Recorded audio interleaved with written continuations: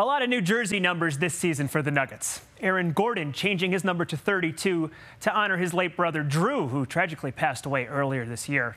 And newcomer Russell Westbrook will be wearing number four.